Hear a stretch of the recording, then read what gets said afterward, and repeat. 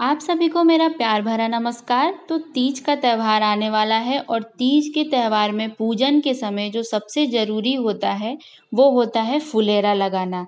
तो फुलेरा कैसे लगाते हैं और घर पे इसे कैसे बना सकते हैं, आज मैं आपको इस वीडियो में बताने वाली हूँ।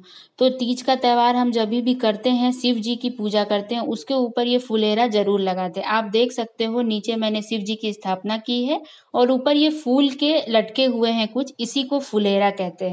तो इसको ज़रूर लगाना चाहिए पूजा करते समय। तो चलिए एकदम आसान तरीके से फटाफट मैं आपको बताती हूँ कि घर में ही ये फुलेरा कैसे बन के तैयार हो जाएगा। तो चलिए, सबसे पहले मैंने यहाँ पे क्या किया है? ऊन लिया है। ये ऊन जो है नया होना चाहिए। ऊन की जगह आप किसी कपड़े का यूज़ कर सकते हो। यहाँ पे मैंने ये चार काटा लिया है। आप चाहे तो इसके जगह पे नया कोई सा बाँस यूज़ कर सकते हो या फिर कोई भी डंडी हो चार एक साइज़ की तो आप उसे यूज़ करिए। अब यहाँ पे मैंने थोड़ा अच्छा दिखने के लिए इसमें पहले पूरे ऊन को लपेट लूँगी। अच्छे तरीके से जो चारों काटा है, उसमें हम ऊन को लपेटेंगे। अगर आपके पास कोई बाँस हो, कोई डंडी हो, उसको भी अच्छे तरीके से कपड़े से से आप कवर कर लीजिए, बिल्कुल आसान तरीके से। बाँस और लकड़ी खोजने से ज़्यादा सही ये तरीका है क्योंकि ये घर में अवेलेबल होता है आसानी से और कहीं भी मिल जाता है। तो इसको अच्छे तरीके से मैं लपेट लूँगी और फुलेरा बनाना बहुत ज़रूरी होता है तीज के पूजन में।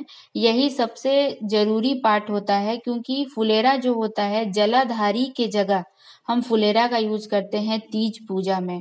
जो शिव जी के ऊपर जलाधारी होती है, उसके जगह ये फुलेरा का यूज़ करते हैं हम। तीज में।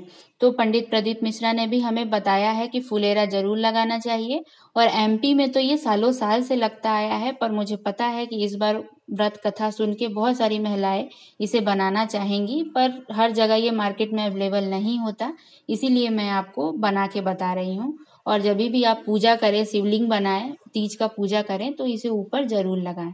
देखिए, इस तरीके से ये चारों डंडी को मैंने ऊन लगा दिया और चारों को बिल्कुल ऐसे बाँध देना है।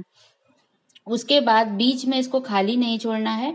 बीच में भी इसको मैं ऊन लगा के अच्छे तरीके से ऊन लगा दीजिए या फिर कोई सा भी लेस वगैरह गोटा हो, वो लगा के इसको ऐसे कवर कर देना है।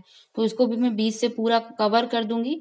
और इसको काफ़ी मज़बूत बनाना है क्योंकि हमें इसे लटकाना है। इसे किसी भी ऐसी जगह, कोई घर में कुंडी हो, उसमें लटकाइए। पंखा हो, हॉल में अगर आप कर रहे हैं तो उसके ऊपर इसको लटकाया जा सकता है।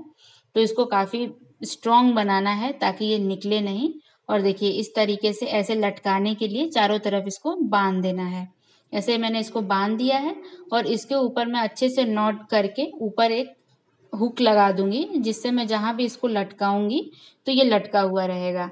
अब फुलहा, फुलेरा जो होता है, वो शिव जी की पाँच बेटियों का प्रतीक होता है तो इसमें हम कम से कम नीचे पाँच फूल की लरी ज़रूर लगाएँगे। आप चाहें तो फूल की लरी उससे ज़्यादा भी लगा सकते हो, क्योंकि इसका नाम ही फुलेरा है तो इसमें फूल का यूज़ ज़रूर करेंगे, ओरिजिनल फूल का यूज़ करते हैं। अब देखिए, ये जो हमारा मेन स्टैंड था, वो बन के तैयार हो गया, और उसके बाद मैंने इसको डेकोरेट कर दिया है। यहाँ आप देख सकते हैं, मैंने पाँच फूल की माला लगाई है।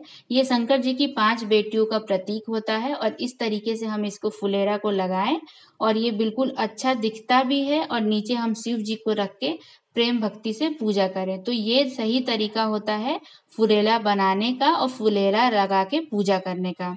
तो आप ऐसे ही बिल्कुल आसान तरीके से घर में फुलेरा बना सकते हैं और लगा सकते हैं। तो आपको कैसा लगा मेरा आज का ये वीडियो मुझे कमेंट सेक्शन में ज़रूर बताएँ। आप भी तीज के पूजा के दिन फुलेरा ज़रूर लगाएँ और पूरे भक्ति भाव से शिव जी की पूजा करें। वीडियो अच्छा लगे तो प्लीज़ सब्सक्राइब करें। थैंक